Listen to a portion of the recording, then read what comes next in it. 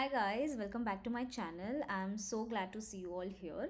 So, so far in all my previous videos, we have mainly been focusing on RNA-seq or single-cell RNA-seq. But in this video, we are switching gears and talking about other type of high throughput data that is whole genome sequencing. So this video we will be talking about variant calling which is a very commonly performed um, analysis on whole genome sequencing or whole exome sequencing data. So today I want to demonstrate how to perform a variant calling that is called uh, variance on whole genome sequencing data using GATK best practice um, workflow. So the aim of uh, variant calling analysis um, is to start with sequencing reads and perform some steps to determine what variants are present in the, these reads. So basically the intuition behind this analysis is to generate a file, a variant call format file that is a VCF file that stores variants that are present in the data. So the diagram at the bottom is like a high level overview of the steps that are typically performed in a variant calling analysis. So the DNA sample is first fed into a sequencer which gives out reads which are stored in FASTA or FASTQ format and these reads are aligned to a reference genome so we get aligned reads which are in BAM or SAM file format and using these aligned reads um, we employ a variant calling algorithm that essentially calls variants identifies these variants and store them in a file called variant call format file that is a vcf file. So today we are going to start with uh, sequencing reads and we are going to perform various steps go into the details of each of these steps uh, and ultimately call variants in our data and uh, generate a vcf file so since today we are using a GATK best practice workflow, I want to talk about what is GATK. So GATK stands for Genome Analysis Toolkit and is the industry standard toolkit for analyzing and identifying variants. And GATK is basically designed for whole uh, human whole genome and whole exome sequencing data. So GATK essentially is a package of command line tools that are written in Java and these tools they have plethora of tools and these tools can be used individually or can be chained together into complete workflows. And these tools can be used for next generation sequencing, data processing, genotyping and variant discovery, variant filtering and evaluation. GATK also provides end-to-end workflows which are GATK best practice uh, workflows which are tailored for specific use cases and GATK is very evolving and adapting to emerging sequencing technologies and has a very active user community and extensive amount of documentation. There has never been a time or an occasion where I haven't found a solution to a problem on GATK forum or in their documentation.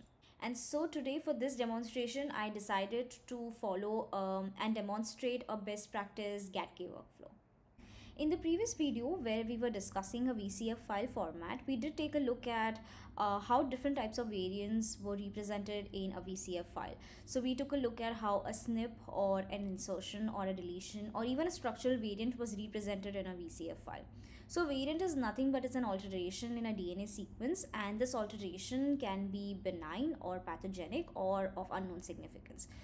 So one of the criteria to determine the various steps you would essentially perform in a variant calling analysis would be dependent on whether you want to call germline mutations or somatic mutations, whether the variant is a germline variant that you're interested or um, a somatic.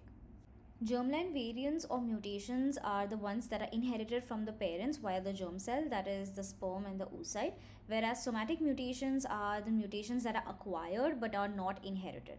So, to give you an example of a somatic mutation, uh, let's say a variant is present in a stem cell in an infant. So, all the cells that are derived from the stem cell will have that variant, but that variant will not be present on all in all the other cells in um, that infant. In order to distinguish whether the mutation or a variant is germline or somatic, uh, one has to sequence the tumor sample along with a matched normal. So consider an example of an individual with lung cancer. Um, if we want to identify somatic mutations from this individual, along with the tumor biopsy from the lung, uh, one has to also get a matched normal from the blood. So, um, germline mutations are also involved in pathogenesis, but it has been found that somatic variants are typically more involved uh, in a disease and hence they are of special interest without having a matched normal uh, one cannot um, distinguish whether the variant is germline or somatic because every genome contains tens of thousands of uh, mutations and so a matched normal from the same donor is necessary to identify uh, whether the mutation is germline or somatic So for today's demonstration, we are going to call germline variants and we are going to use germline short variant discovery GATK best practice workflow. I will add the link to this workflow in the description section below. So basically this workflow has three steps. The first step is data pre-processing, which mainly involves getting analysis ready reads. Uh, and using these analysis ready reads, we call a variant calling algorithm to call variants, which is the second step. And once we have the variants called, we use these variants uh, and filter them and annotate and predict the effects of these variants on genes. So today we are going to mainly focus on various steps that go in data pre-processing and calling variants on analysis ready reads using GATK's haplotype caller and calling raw SNPs and indels. Uh, once you have called this um, these uh, raw variants you can filter and annotate them and there are various tools like SnpEff or vep that can be used which annotates and predict the effects of these variants however for today's demonstration we are going to just stick with the first two steps so talking about data pre-processing steps, we start with raw unmapped reads in FASTQ files and we first perform quality control making sure that there are no adapter sequences. If there are then essentially we would trim them out and make sure that everything else with the reads um, checks out. I mean there are no major issues with the reads flagged and once the quality control checks out, we move on to mapping these reads to a reference genome. And for that, we need um, an algorithm to map the reads to the reference genome. And here we are going to use BWA MEM. So BWA stands for Burrows-Wheeler Aligner and it's basically used to map reads against a reference genome. And BWA consists of three algorithms, uh, BWA Backtrack, BWA SW and BWA MEM. And each of these algorithms are designed for specific purposes. So BWA backtrack is designed for Illumina sequence reads up to 100 base pairs. BWA SW and MEM are designed for sequences for longer sequences ranging from 70 base pairs to 1 megabase pair. We are going to go with BWA MEM because it is recommended for high quality queries as it is faster and more accurate. In addition to that, it can also perform gapped alignment for identification of indels and it can effectively map paired end reads. It can also perform soft clipping, that is, it can clip ends if they do not match, and it has a me moderate memory requirement. So when aligning raw reads to a reference genome using an aligner like BWA MEM, uh, the reads are the aligned reads are stored in a SAM or BAM file. And sometimes the SAM or the BAM file uh, will miss certain information. The information we are talking about here is a read group. So basically the term read group refers to a set of read that are generated from a single run of a sequencing instrument. So all the reads that are derived from a single library preparation from a single biological sample that are run on a single lane on a flow cell will have the same read group. Now these read group tags are present in the header section of the SAM or BAM files. If you're not sure what the header section of the SAM or BAM file looks like, you can refer to the video where we have spoken about the SAM and BAM file format. I will add the link to that video in the description section below. So this read group tag which is present in the header section of the SAM or BAM file will have information on the ID or unique ID that is associated with the reads, the sequencing platform information, DNA preparation library ID, sample names and so on and so forth.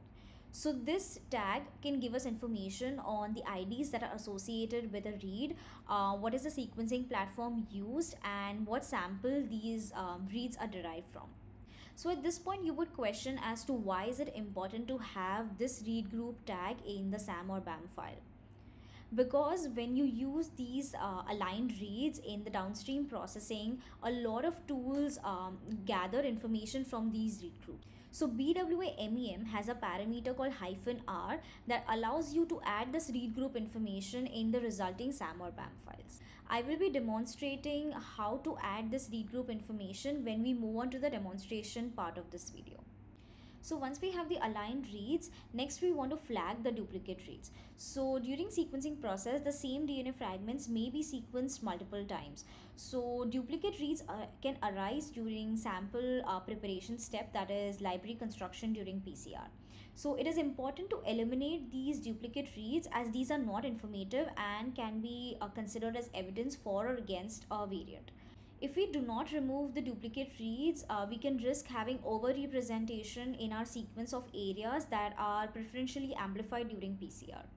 So these duplicate reads are not removed per se from the SAM or BAM files, but these are flagged as duplicate reads. So the second column in a SAM file is known as a bitwise flag and the flag value indicates that the read is flagged as a duplicate. In one of the videos previously, we have spoken about SAM flags and what do they mean. So I will add the link to that video in the description section below. So once these reads are flagged as duplicates, they will then be ignored by all the uh, downstream GATK tools. So for this step, we will be using Mark Duplicate Spark uh, tool from GATK, which performs both the duplicate marking step as well as sorting the alignment files. So the last step in data pre-processing is to recalibrate base quality scores. So variant calling algorithms rely heavily on the quality scores that are assigned to individual bases in each sequencing read. Uh, this is because the quality score can tell us how much we trust that particular base at that location. Uh, so if we have a base call um, that has a low quality score, that means that we are not sure whether we actually see that base at that location or whether it could be something else. So in other words, uh, we don't trust it as much as we trust the other base base calls that have high quality scores. So basically, these quality scores serve as evidence um, that we have for or against uh, a variant that exists at a particular site. Unfortunately, the scores uh, produced by machines are subjected to various sources of systemic technical errors, uh, which can lead to over or underestimation of these uh, quality scores in the data. These errors are due to physics or chemistry of how sequencing reaction works, and some are probably due to manufacturing flaws in the equipment. So, base quality score recalibration is a process in which we apply machine learning to model these errors and adjust the quality scores accordingly. So, this allows us to get more accurate base qualities um, and it improves the accuracy of variant calls. So providing high level overview of how base quality score recalibration works. So we provide the GATK base recalibrator with a set of known variants and GATK base recalibrator analyzes all reads looking for mismatches between the read and the reference and skip those positions that are included in the known variance file. GATK based recalibrator computes statistics on the mismatches based on the reported quality score, the position in the read, and the sequencing context and based on the statistics an empirical quality score is assigned to each mismatch overwriting the original reported quality score base quality score recalibration step is an optional step but it's highly recommended in variant calling analysis.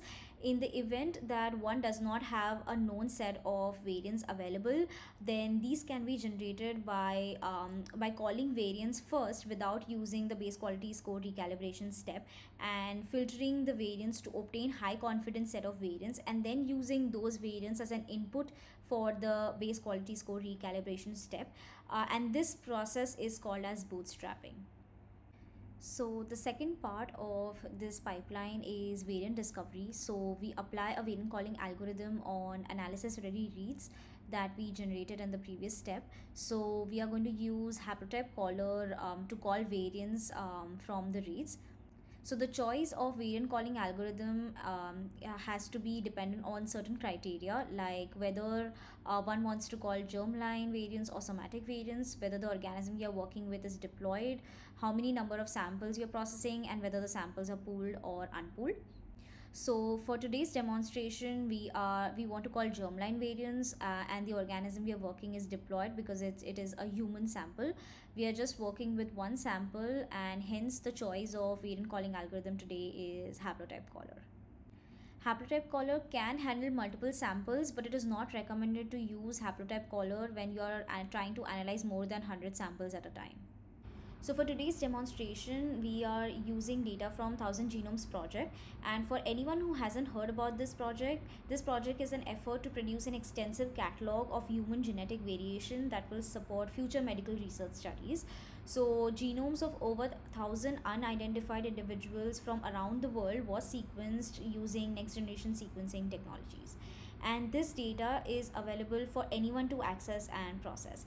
So for our demonstration, we are using paired-end reads, uh, whole genome sequencing reads from an individual who was a part of phase 3 of this project. I will be adding links to download this data in the description section below. So while going through the demonstration, there are certain things that I will not go into the details of. So I'm assuming you have basic understandings of Linux system. I'm assuming you know how to write and execute a bash script. I'm assuming you understand Linux file systems and permissions and I'm assuming you know how to download and install tools using command line and these are the requirements for today's demonstration. So the GATK runs natively on most if not all flavors of Unix which includes uh, Mac OS, Linux and BSD. So it is possible to get it running on some versions of Windows but GATK uh, does not uh, provide support or instructions uh, and even does not recommend to run GATK on uh, a Windows system. So for all the windows user if you need to run gatk and process this um, then i will recommend you to um, get a virtual machine and install uh, linux os in your virtual machine. Because that's what i did when i was um, in my master's program. We were recommended to get a virtual machine and install a linux os and perform all the bioinformatics analysis in linux so i will recommend you to do that as well you will need java 1.8 and for the tools um, you will need GATK, BWA, FastQC, SAMtools and MultiQC for today's um, demonstration. So before we start writing the script, let us set up our directory by creating some folders in it. So this is my project working directory and you can see that it is empty right now. So I'm going to create some folders within it. So folders to hold align reads, to hold reads, to hold scripts, to hold results, and to hold some data that we generate um, the intermediate files that we generate during the pipeline. So now you can see that we have five folders here and these folders are empty right now but we are soon going to populate these folders with the relevant uh, data within it.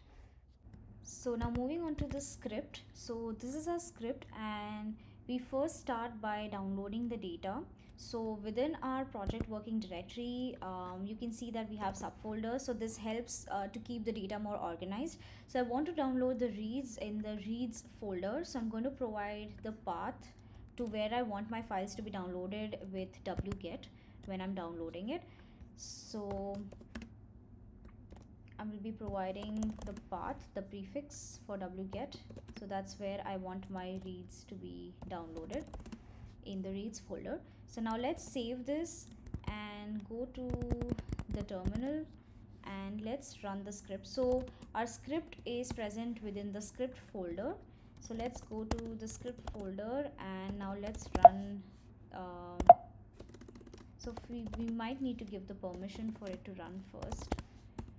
And now let's run the script so these files can take a couple of minutes as these are larger files. So I will be adding the links to download these files in the description section below. We have finished downloading the reads and the reads are present within the reads folder. So let us go back to our script after downloading the reads um, and we are building this pipeline with just one sample but let's say if you're running um, and you're trying to create a variant calling pipeline for multiple samples in that case you will require some files that um, your pipeline will be reusing multiple times so these files need to be generated only once uh, but these are the files that are required um, by GATK uh, programs.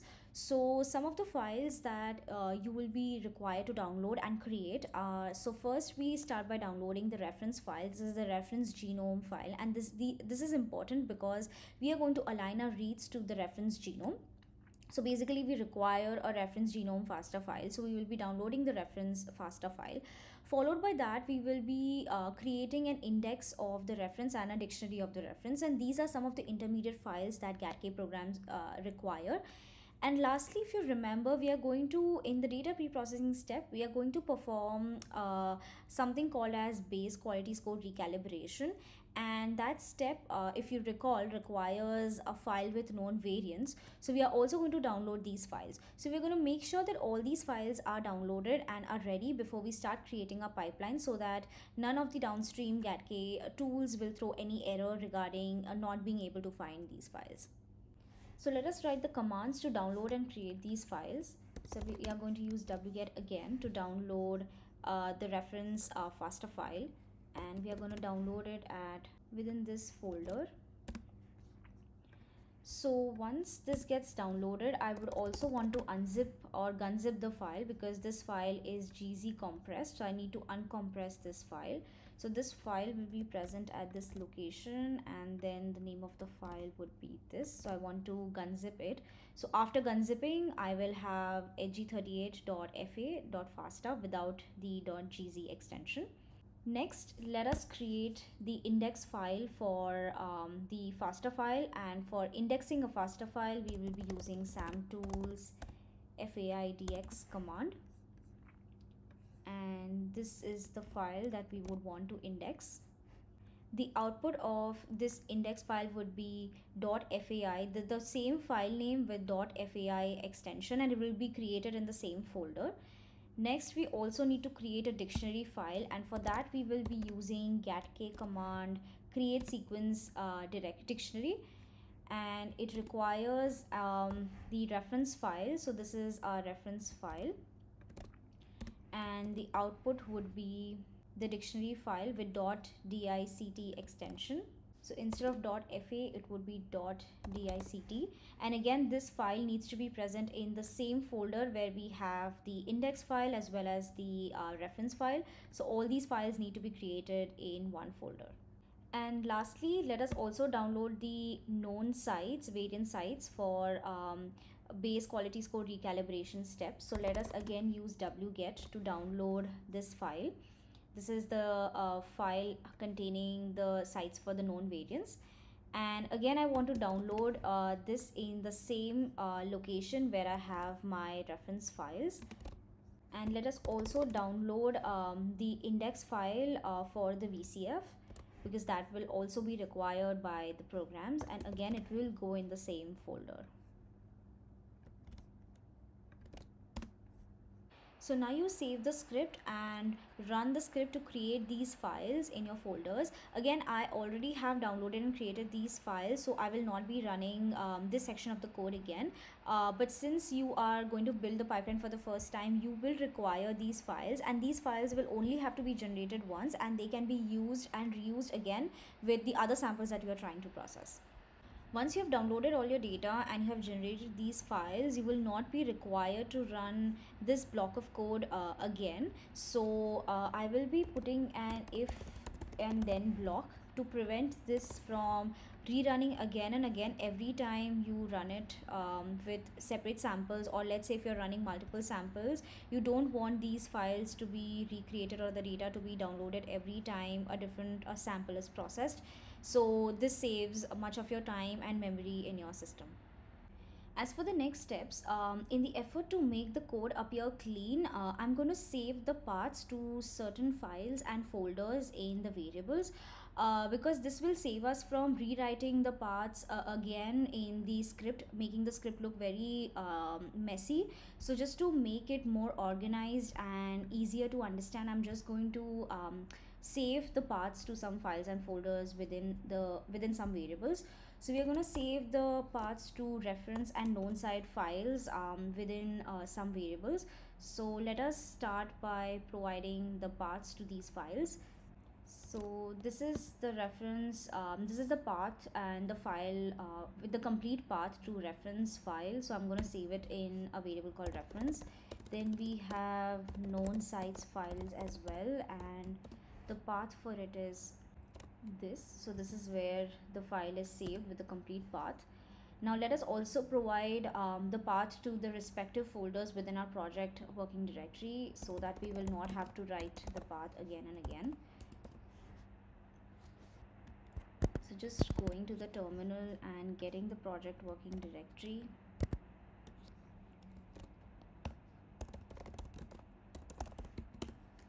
also do it for reads. We do it for results.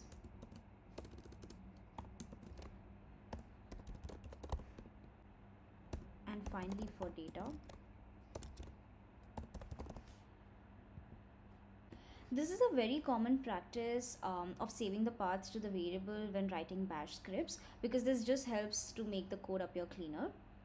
So now let us begin with the first step that is quality control of our reads, assessing the quality of our reads, making sure that we have good quality reads to begin with and use them for further processing. So we use a tool called FastQC and we provide the path to the reads. And as you know the path to the reads is saved in the reads um, variable. So we just interpolate that variable and we need to provide the name of the reads so since these are paired end reads, we will have two files. The first file contains the forward set uh, forward pairs. So we are just going to provide the file name and output it again to the reads folder. And we are going to repeat the same process uh, for the second set of reads that is the reverse reads just to make a note here that the tools that I'm using, the executable of these tools, the path to these executables are in my bash RC or bash profile, meaning that these tools are in my path and hence I do not need to provide the complete path to the executable.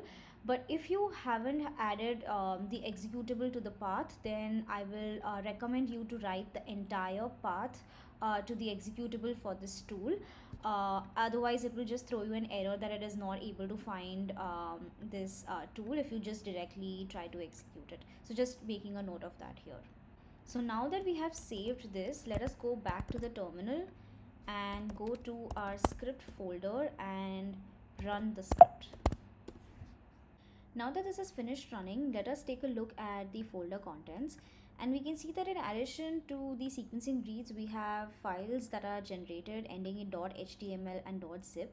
So I want to open the files ending in .html to see um, the results of the uh, FastQC because these are the FastQC reports. Uh, so I'm just going to open them.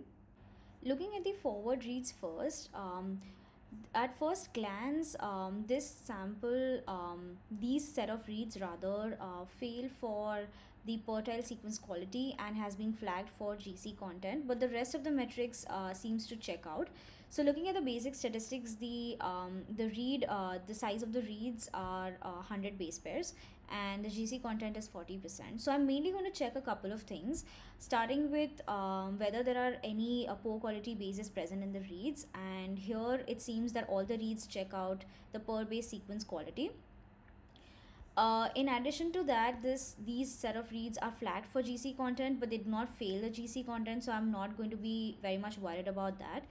And lastly, I'm also going to check whether there is any adapter content present because if there are adapters present, then I will have to trim those out before I align them.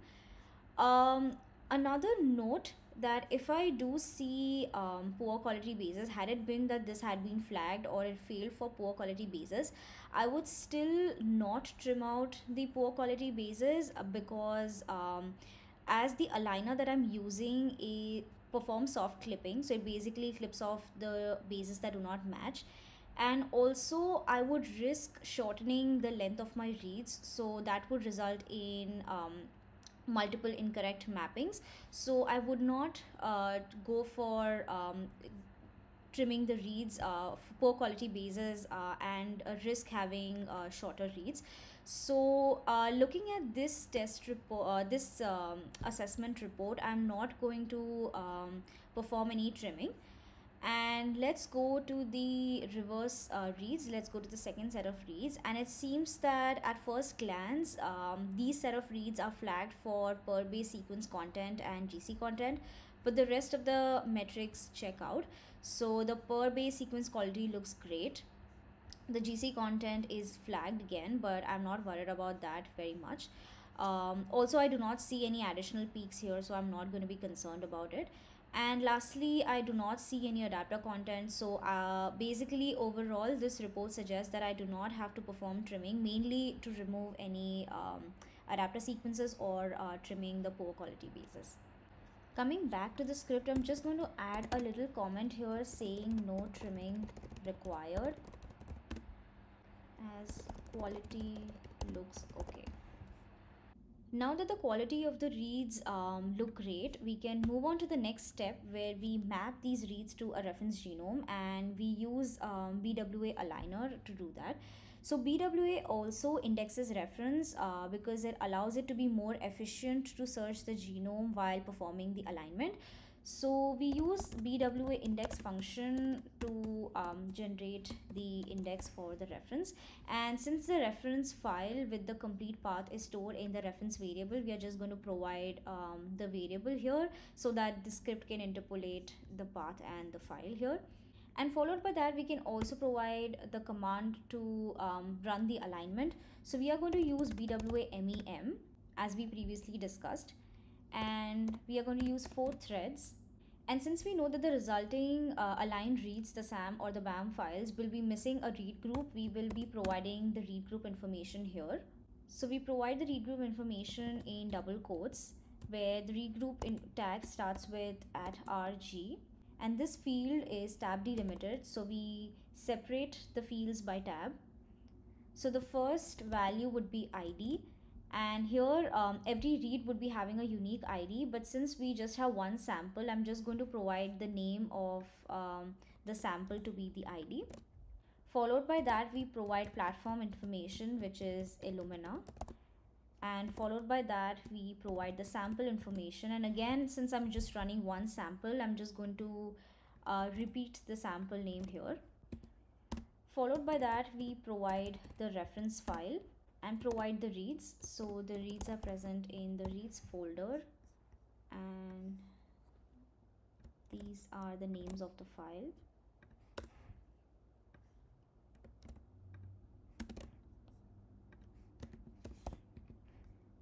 And I want to output the aligned reads in aligned reads folder. So I'm going to provide the sample name and I want the SAM file.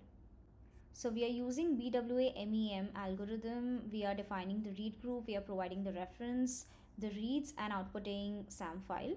And since we've already done the FastQC for our reads, I'm not going to rerun it again. And hence I am just commenting it out. So now let's save the script and go to the terminal, go to the script folder and let's run the script. Now that the alignment step is finished running, I first want to show you the output files that are generated at each step in the alignment. So first we index the reference. So let us take a look at what files that are created after the indexing. So if you recall the first five uh, files were downloaded and generated at the beginning of the script the next five files are what uh, bwa index uh, function generated. So these were the files essentially that bwa used uh, for alignment. Next let's take a look at the um, folders.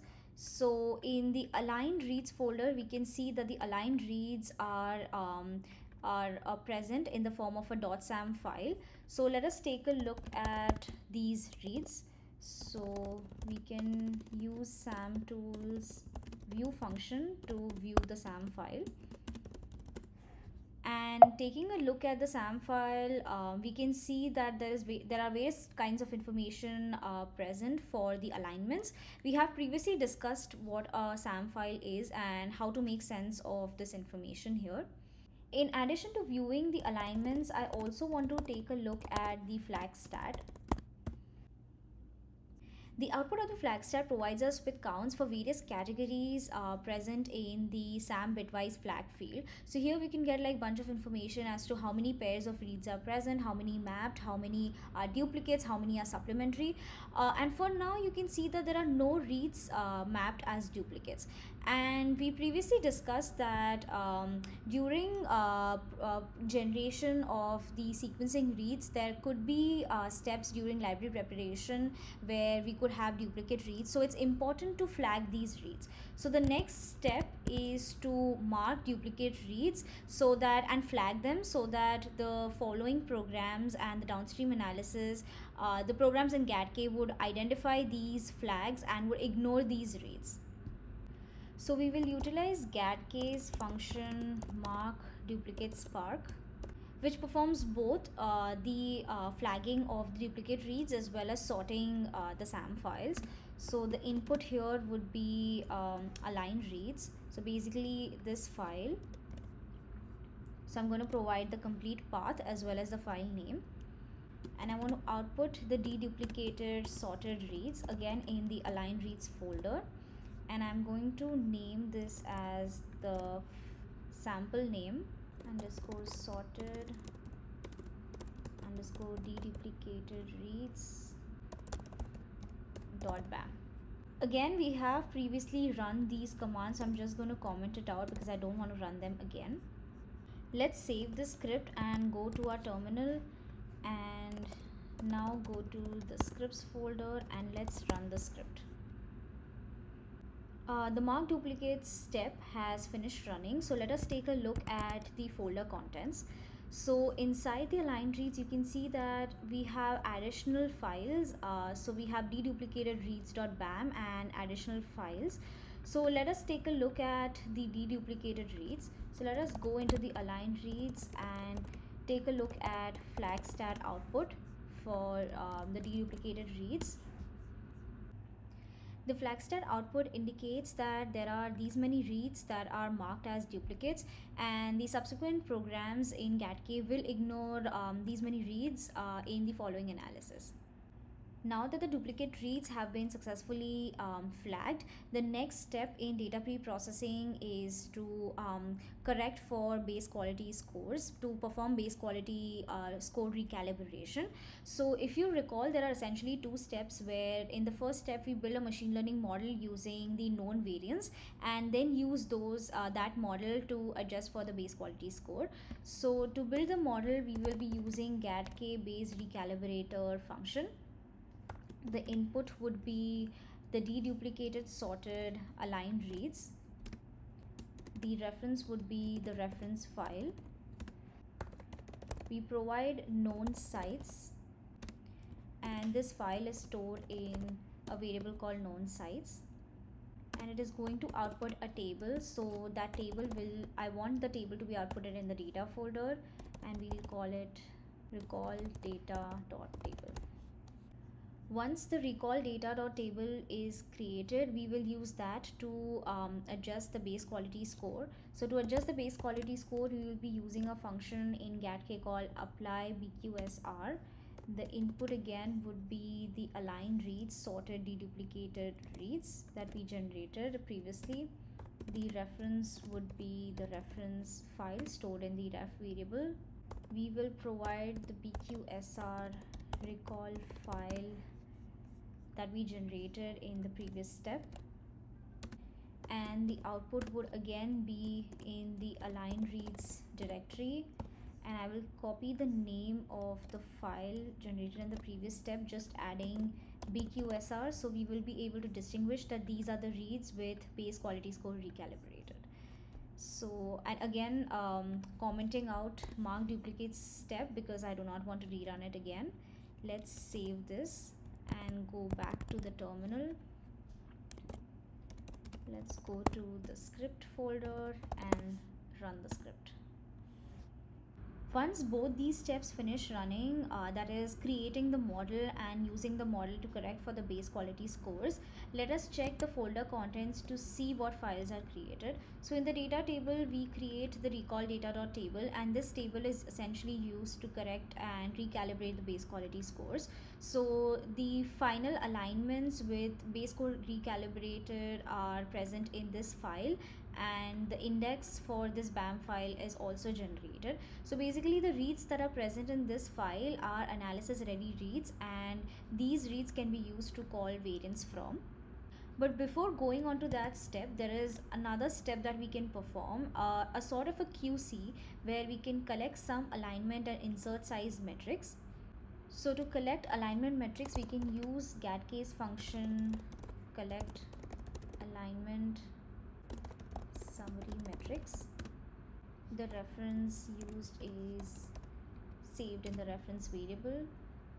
The input would be the base quality score recalibrated reads and the output would be in the result or rather in the alignment aligned reads folder and we'll call it alignment to collect insert size metrics, we can use function collect insert size metrics.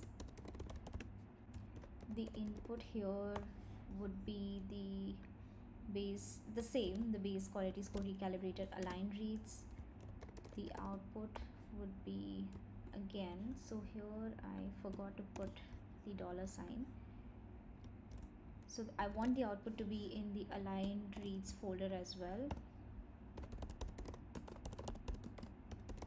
And I want the output to be in insert size matrix. And I also want histogram. And I want it again to be in the align reads folder.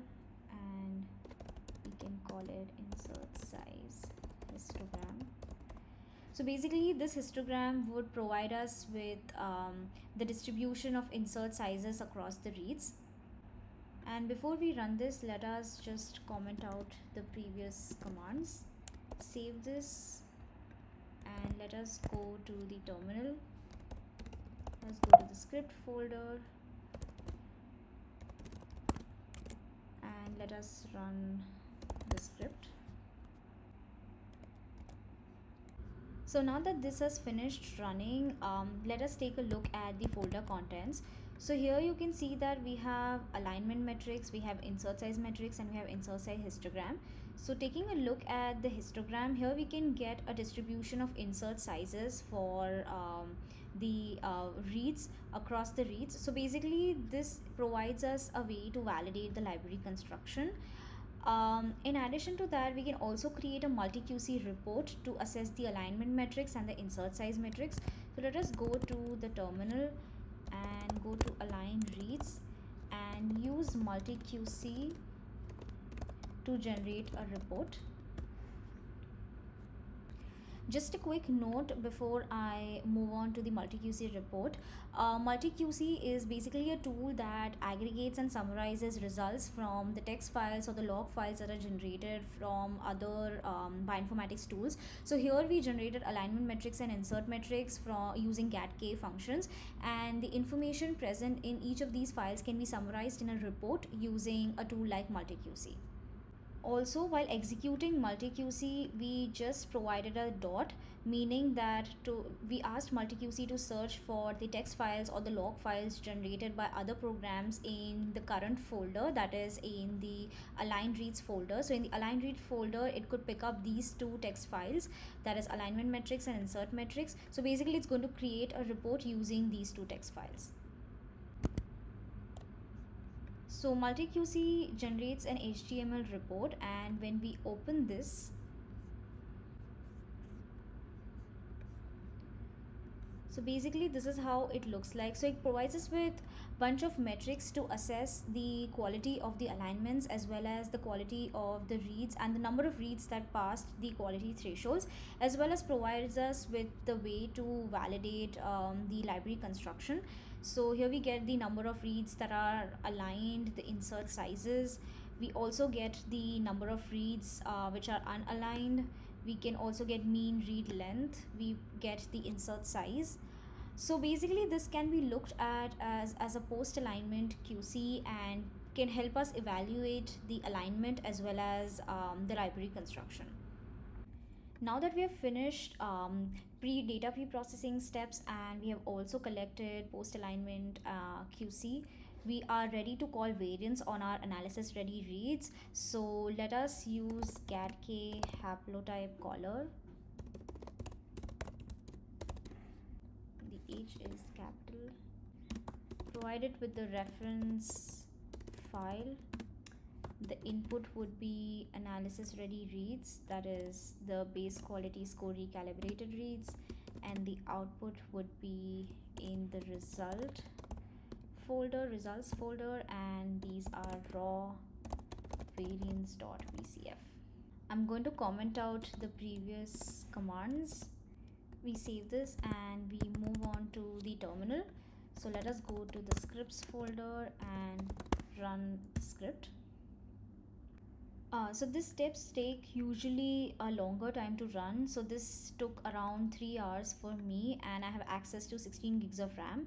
So uh, I'm not going to run this step because I have previously run it and I have the results. So I'm just going to show you the output files. so in my results folder i have raw variants.vcf and i have indexed um, vcf file which is generated by haplotype caller so now we have the raw variants so let us take a look at these raw variants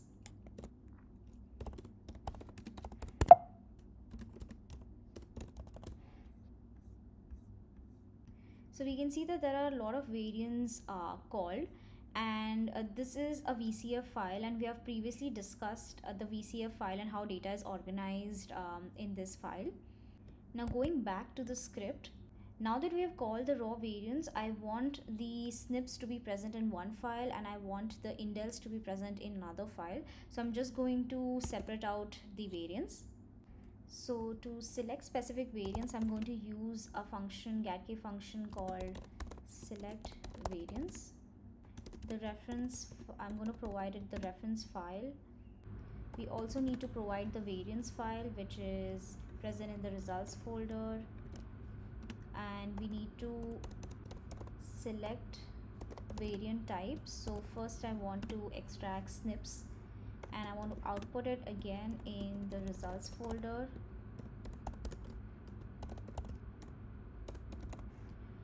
And I want to repeat the same step for the indels as well. So I'm just going to copy the same command and instead of the SNP in the select tab I'm going to type indel and I'm going to change the name of the output file.